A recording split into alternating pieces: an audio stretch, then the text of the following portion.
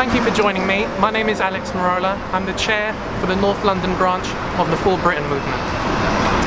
We are outside this Holiday Inn in Wembley today after receiving reports from a local member that they were harbouring illegal migrants posing as asylum seekers. These are the very same migrants who have been allowed in by the current government from ports such as Dover that we have discussed in our latest For Britain Movement national campaign to end the border farce. These so-called asylum seekers pose a massive security threat to our country. ISIS has bragged several times that they have hidden their recruits in with migrants coming in all across from Europe. They are pretending to be refugees and they have no documentation. Let's not forget, only a few months ago, an asylum seeker who was housed in a hotel very similar to this in Glasgow went on a stabbing spree, viciously attacking and injuring many people, including hotel staff, members of the public and a police officer.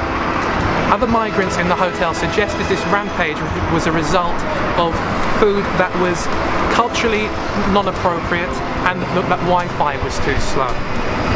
And only last week in France, a Muslim asylum seeker beheaded a French teacher for showing an image of the Prophet Muhammad in a class about freedom of speech. Their culture is not compatible with ours, and in the words of the Dalai Lama, they should return home. How safe are the people of Wembley and North London with these undocumented, unidentifiable illegal immigrants living here? When we arrived at this hotel a few weeks ago, our suspicions that there were illegal immigrants being housed here were proved to be correct.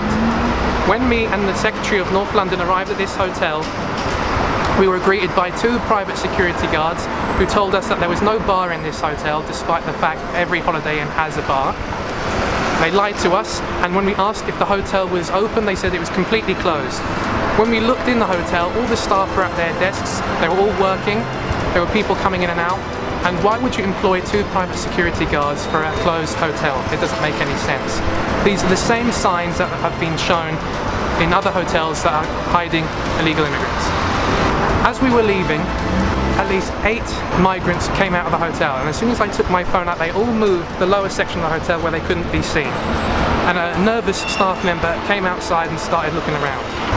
Thank you for joining us. Please like and share this video to make people aware of what our governments are doing. While they are putting local people at risk for the sake of housing illegal immigrants, we have tens of thousands of homeless men and women in this country, many of whom who have served in our armed forces and are veterans.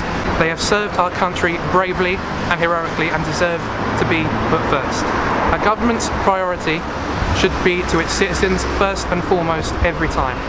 If you're not already a member of the For Britain movement, please join us at forbritain.uk forward slash join and volunteer with your local branch. For Britain is the only patriotic political party with elected councillors in this country. The only way we can stop this madness is by getting real local and parliamentary power that we can change things for the better. Replace the politicians before they replace you. Thank you. Hi, James. Hiya. Sorry, just wondering what was going on. We're just filming a video.